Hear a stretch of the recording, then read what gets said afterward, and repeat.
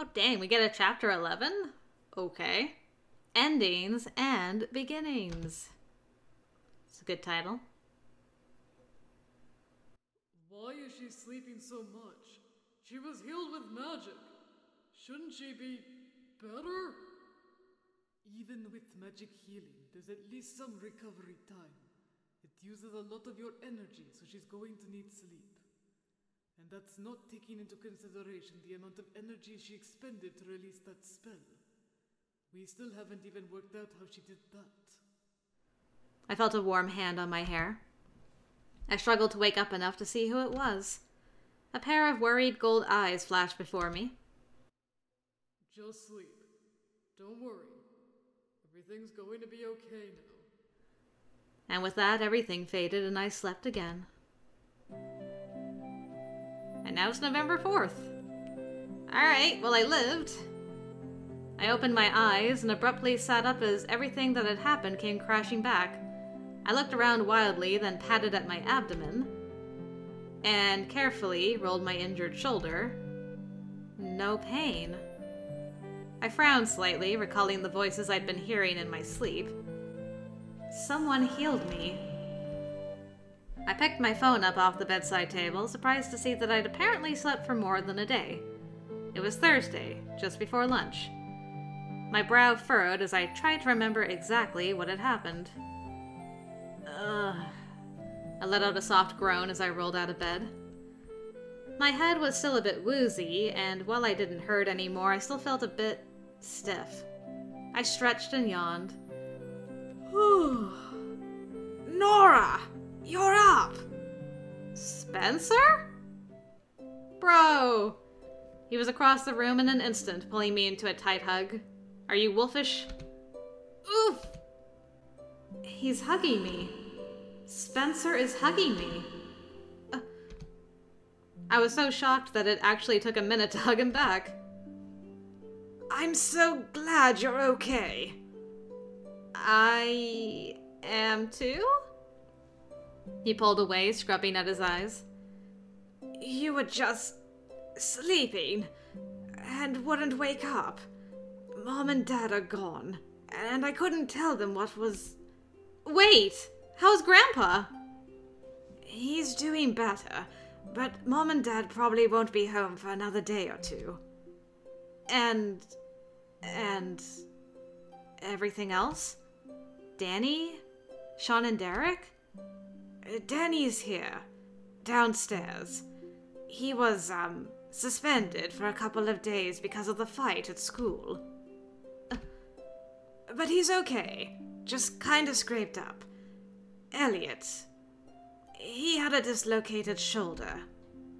Sean was hurt pretty bad, but he's still already on his feet again. Velos healed everyone, but I think he was mostly worried about you. I kind of vaguely remember that, I think. Are you okay? I mean, wait! Your arm! That. a werewolf. Well, that's a bit complicated. We still don't know if I'm infected yet. Velos did a check with some kind of. thing. Thing? Some kind of magic device. He sat on my bed, pulling me over to sit next to him. Leaning over and resting his elbows on his knees, he sighed softly. he thinks that you and I may actually have already had a Fey heritage of some kind. From Mom? What? Probably pretty far back.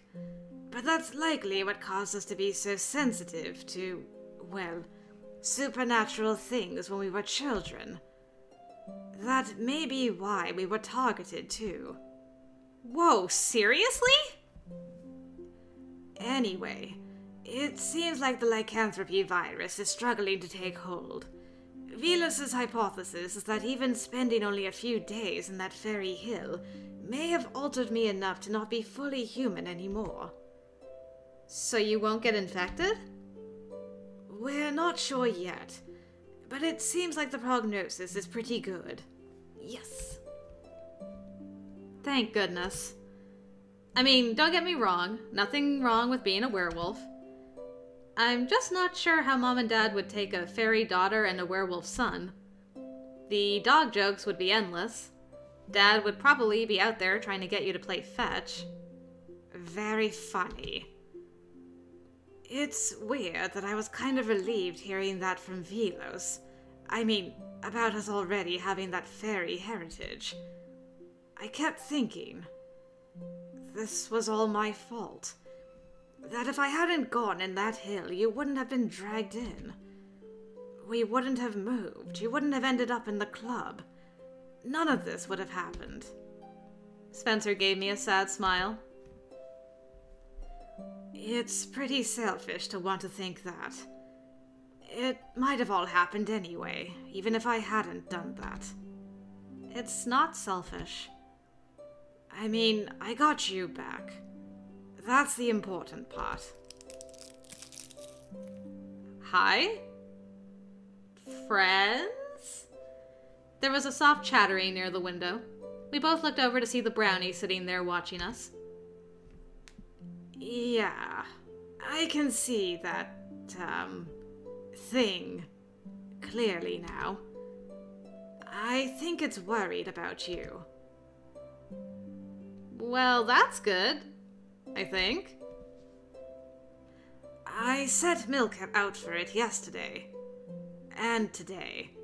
It seems to like me now. Congratulations. Anyway, I should go back down and tell Danny you woke up, and you should take a shower. You kinda smell bad. Brothers. I shoved his shoulder. Well, excuse me. I was kidnapped and thrown in the dirt by angry werewolves, and I've been unconscious for a day. I think it's expected. He wiped at his eyes again and gave me a slight smile. We'll be downstairs. We were going to be stopping by that weird courtyard to let Allie know how you were doing. Since you're awake now, you should come too if you're up to it. I think so. Okay. Take your time then. He left me standing there wondering how he'd found out about the courtyard. It looked like I had a lot of catching up to do, even though I'd only been out for a day and a half. Did you leave me alone here to go gallivanting at the courtyard? I went to gather some clothes so I could quickly shower. Spencer wasn't exactly wrong about me not smelling pleasant. Alright, I'm just like, look. If girl... Girl was not in her pajamas when this all happened. Whoever changed her into pajamas, could you not have, like, washed all the dirt off of her? You know, like give her a little bit of a cleaning before you put her into pajamas? No? Is that too much to ask? Probably. Now that the fuzziness of sleep was fading, I tried to remember what had happened at the end of that fight. I kind of remember doing something. Even now, I didn't know what. Magic, I guess. It was kind of scary. Kind of thrilling, really. It felt like I'd actually maybe helped out a little with saving everyone. Wonder what happened to Liam. Did I kill everybody? Did I knock them out? What did I do? That was a weird thought, though, and I could just be remembering wrong. I did kind of remember the whole power surge thing that happened when I got mad, though. That had been such a weird feeling. But if I'd somehow helped, then I was glad for that. Velos was definitely there at some point. He healed me while Allie held me and cried. I felt bad about that. I felt bad about worrying everyone again. Though to be fair, I didn't exactly ask to be kidnapped by a grumpy werewolf. I tipped my head back, letting the water soak my hair. Maybe things will finally go back to normal now. Um, privacy? Mr. Brownie? there was a very familiar crackling sound behind me, and I slowly looked back to see the brownie sitting on the faucet, swinging its feet slightly as it watched me. I was pretty sure the others heard my scream downstairs. Ah, a little too friendly now. My hair was still a little damp when I got downstairs, and I was still fuming from that stupid brownie. I was surprised that Danny was still with Spencer down in the kitchen. They were sitting at the table talking quietly when I entered. They looked thick as thieves, really. When did those two become friends? Danny looked up as soon as I reached the bottom step. He was immediately on his feet, and before I knew it, I was enveloped in a suffocating hug. I am so sorry. I'm sorry.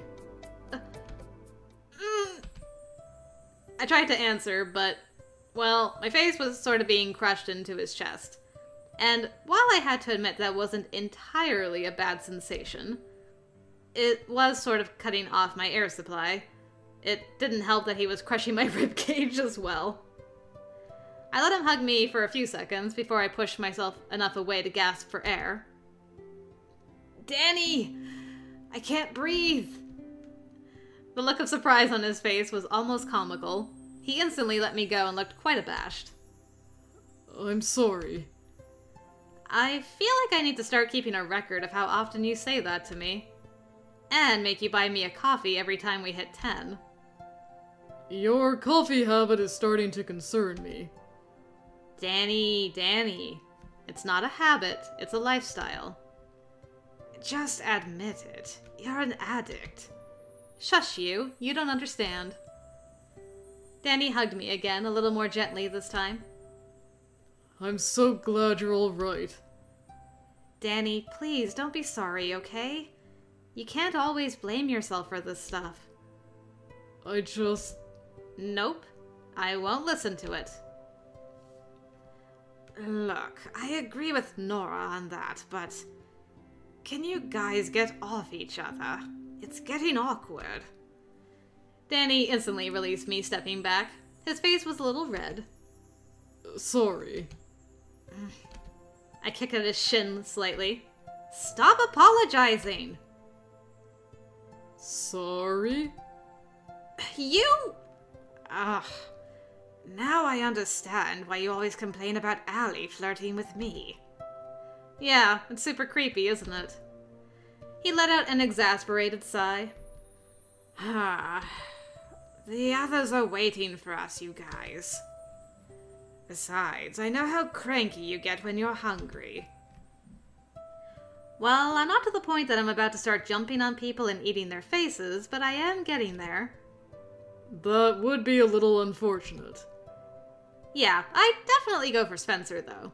Pretty sure I can take him out. He rolled his eyes. I almost liked it better when we weren't speaking. Danny just laughed and headed to the front, and we followed behind him. Everything felt weirdly normal. It shouldn't feel this normal after an epic werewolf brawl and being unconscious for so long. So, what was that scream earlier about anyway? The brownie paid me a visit while I was in the shower. Oh, God. Yeah, don't think he's going to do it again. One hopes. He might try you next, Spencer. Allie and Elliot were both waiting for us when we got to the courtyard.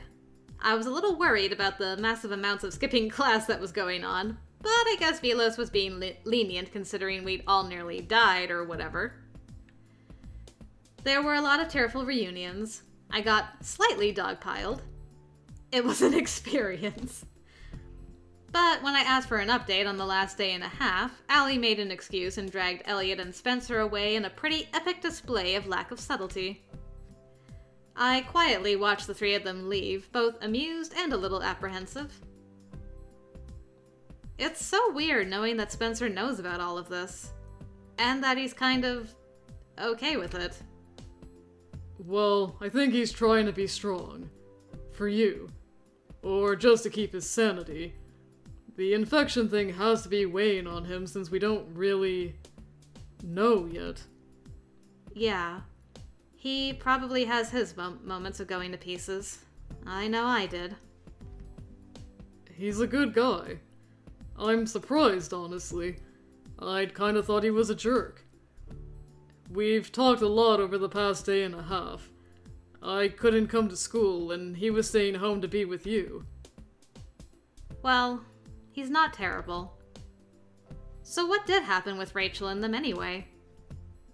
You mean after you single handedly took out Liam and his entire group? Yeah, I sort of vaguely remember that.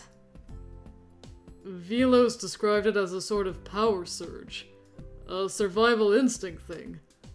It was terrifying and pretty amazing. I don't think I even knew what I was doing. I just wanted to protect everyone. I wanted the fighting to stop. Oh, you stopped the fighting, that's for sure. They all just dropped to the ground in an instant. We were sort of terrified they were dead. I'm enormously relieved I didn't inadvertently murder people, I must say. Yeah, I was wondering about that. By the time Velos and the others got there, we'd kind of rounded everyone up. You were in bad shape, though. We were all pretty panicked. So Velos saved yelling at us until later. That was polite of him. Because Liam dragged you and Spencer into things, their clan is on pretty thin ice with the agency right now, and they were already having some internal struggles. So they're not in good shape at the moment. Oh? Because of us? The two of you may be cryptics, but you're fully integrated into human society. You're young, you've never caused issues, and your parents are human. It would cause a massive upset if something happened to you. So yeah, the agency is pretty ticked off that Liam broke about half a dozen laws trying to hurt you. At this rate, if anyone in Rachel's clan sets one more foot out of line, the agency will probably call in a relocation force and make them leave the area. I doubt I'm worth the trouble anymore. Good. I'd hate to have to beat more of them up. I'm sure they wouldn't be thrilled about it either. Anyway, the agency handed Liam over to the council, and I imagine he's in big trouble. What about Sean? He was beat up pretty badly. I think Spencer said that Velos healed him? A bit. Werewolves have pretty fast regeneration. It would take more than being beat up to kill one of us. Dang it! You get all the useful traits. Why can't I have fast regeneration? This is so unfair. He just chuckled softly. Sean and Derek left, by the way. Left? Without saying goodbye, those two are the rudest. Left the area. With the help of the agency. Not a forced relocation or anything. They just decided to go elsewhere. Try to find a clan that will accept them. Maybe try to start their own in a place where Sean's history isn't so widely known. Will they be okay? Yeah, well, I think the agency will make sure of that. Your work? I mean, they're werewolves. Isn't the agency supposed to not care? I may have had something to do with it. I'm not surprised. I felt I owed them at least that much, in spite of everything. Spencer may have also made a fairly convincing argument. He was adamant that the agency takes some responsibility, insisted their complacency when it came to intervening in cryptic only issues is what led to his maybe infection. He's pretty good at guilt tripping people. Yeah, and he can be annoyingly difficult to argue with. For the record, Velos thinks things look pretty good for him. He doesn't think the infection will take root. I had mixed feelings on how to respond to that. Well, I'm glad. But it's not like being a werewolf is the end of the world. You know, as long as I never have to see him without pants. I'm glad those two will be okay. I mean, I don't think they were bad guys, just in a bad situation. And they did help me out. Sort of. In a weird way. Yeah, they're not.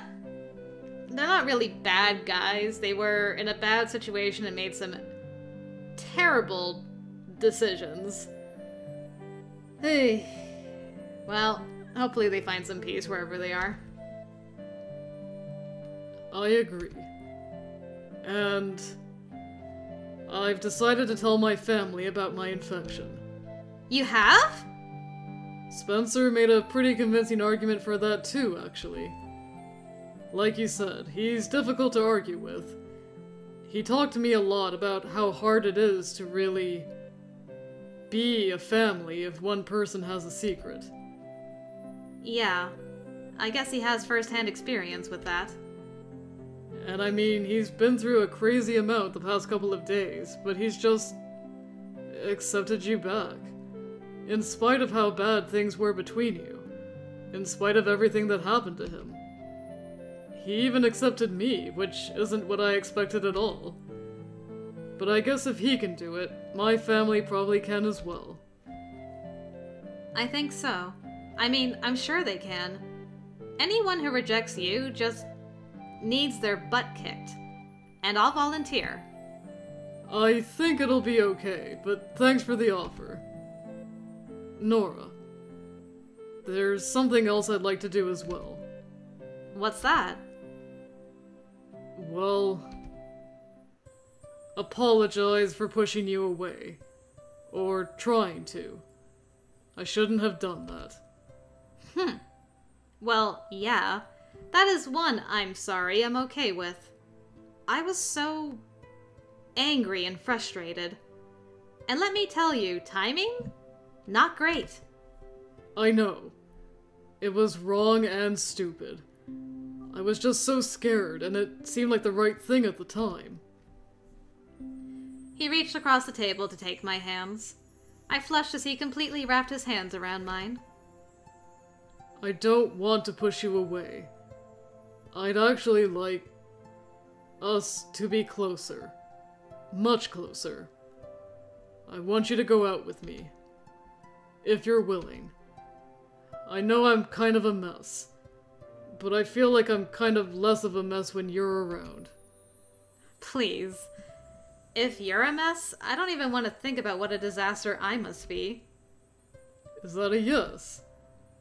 Well, technically it was a self-deprecating comment aimed at demonstrating how much you are not a mess. But... Yes. The answer is yes. I thought I'd be more embarrassed, but... Maybe it was just everything we'd gone through. I really didn't feel that weird about it. Danny set a hand on my cheek, his thumb sliding downward and grazing the corner of my mouth. I stared up into his eyes, so strange and inhuman, but so warm. And so, so beautiful. After all this time, still so beautiful. One day I really am going to be able to look at him without it feeling like someone set my face on fire. I'm glad we met. I'm glad you moved in next door. I'm sorry that it's been such a crazy ride, but I'm glad this is where we ended up. I smiled up at him, covering his hand with mine. Me too. I hope you can handle dating a werewolf. Well, from what I've seen, it'll be fine. I mean, there's the pants issue and all. But if you don't run me into another ravine, I think it'll be good. he laughed and pulled me into a tight hug. I leaned into him feeling stupidly happy and a bit giddy as it really hit me that I just agreed to go out with him. It was official. I'd never really thought things like that mattered, but now that I was actually experiencing it, I could see why it mattered so much to others. Thanks to you, I think I've learned to control my transformations better. Just needed a little motivation. So we're good on the pants front. Glad I could help. Me too. He pulled back and gave me a serious look, capturing my face between his hands. But, for the record, I'm never going to let anything like that happen to you again. Ever. I don't know. I am pretty good at getting into trouble. I grinned and reached up to give a gentle tug to the unruly curls falling in his eyes. He caught my hand and brought it to his cheek, then to his lips. I couldn't tear my eyes away from the sight of him pressing a gentle kiss to my fingertips. I guess I'm going to just have to be very, very vigilant. Uh-huh. That's, um... That's probably for the best. Ooh! Such passionate kiss! I like. I raised my eyes to his again, and he smiled before pulling me in and kissing me. It didn't take me by surprise this time. It was slow, tender, and everything about it felt right. I let out a happy sigh and pulled him just that much closer. Danny's arm circled my waist, and in the part of my mind that wasn't completely overwhelmed with appropriately gushy happiness, I thought that this was definitely going to be the best year ever. It's the best year ever! Yay! We did it, everybody! Oh, my goodness, what a ride indeed. Well, I thoroughly enjoyed that very much. I I have some questions, like where the heck was Derek when Sean just got like the crap beaten up out of him? For instance. Uh, I'm sorry we didn't have like one last interchange with Sean and Derek, like kind of just settling things once and for all um, confronting them about what they had done to her. But I'm I'm glad they're they're gone for, for right now. I'm hoping they're they're just gonna figure that out.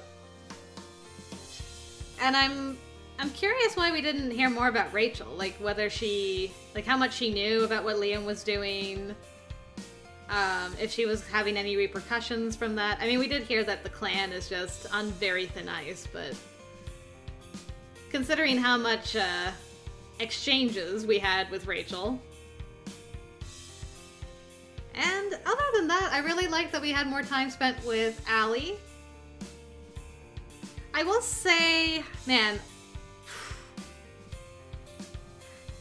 it's kind of weird. I like I I like Danny more than Corvin as far as like the romance stuff even though Danny was like insistent on falling on his sword as a martyr at the worst possible time. But everything else, he was like super sweet and a gentleman and just like the best boyfriend ever, aside from that one thing. Um, but I kind of weirdly like Corvin's story better. Like the the plot. I don't know how to explain it. Like the I like that all the characters were involved, including Kara in Corvin's route. I liked that there was a lot more interaction between Spencer and Nora and Corvin, so the the resolution felt better in Corvin's than here. Like I feel like the the Spencer Nora sibling thing just kind of resolved itself very suddenly and quickly, and it wasn't more of a gradual thing. Um, and just in general, like, man, aside from Danny, everybody else was so stereotypically werewolf, and I was just like, oh my god, you guys, you need to just calm down. you guys are all just like too extra for me with your werewolf shenanigans. But Danny's lovely. It's almost like an opposite problem. Like, I didn't really mind the Ori in Corvin's route. Like, the, that whole thing was easier to deal with than the werewolf shenanigans. But Danny as a person is much easier to deal with than Corvin is. so I've got like an opposite problem. I like like different things. I like the boy and not not so much the story on the one hand, and then I like the story more and not so much the boy on the other hand. It's just like a. But anyway, I I think overall I will I would put Danny above Corvin. That's just kind of a funny funny situation. But that's just me anyway. Um, I wanted the endings actually. Which one did we get? Just remember your pants. Ah, if that doesn't spell a romantic ending, I don't know what would. There you go. Um, like a derp. So we've got four more endings to go for you guys. But it looks like we got the best ending there for Danny, so I hope you enjoyed it. I would love to hear your thoughts on the resolution for Danny's route and what you thought of it overall, and just our boy in general, our sweet, sweet werewolf boy. I really loved him. He is the sweetest, and a cinnamon roll, for sure. But things are not all roses and daisies and all that stuff, because now we're going into bad ending territory. So yeah, if you guys are curious as to what those bad ends entail, hopefully I will see you there for that. Thank you though very much again for joining me on this, guys. I had a great time, and until next time, I will see you later.